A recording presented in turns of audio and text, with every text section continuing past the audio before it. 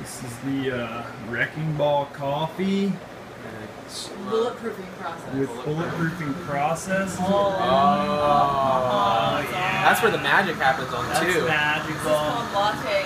Oh, oh, I This see is the a froth. I bulletproof see the froth. latte, everyone. Frothing. We got upgraded MCT oil in here, and we have grass-fed butter. And this is what you call dead serious. That Gotta get ready to pour it. that is Okay, serious. Now I need to get ready for forage. We'll come back. I think we're good.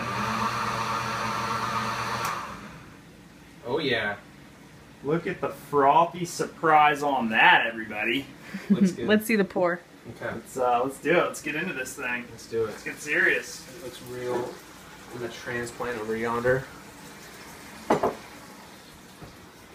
Ooh, look at that. Just look at it. Just look at it, would you? Just look at it. Just look at it. Would you look at that? A fresh latte. Would you Would you look at that? Would you Just look at it. Just look, Just at, look it. at it. Just look at it. Now I want you guys to Cheers. give a toast. Cheers each other. Wow. We're steaming. Bulletproof. We got a steamer. Cheers, buddy. This buddy. is to uh, some MCT oil, Yeah. upgraded crappie here.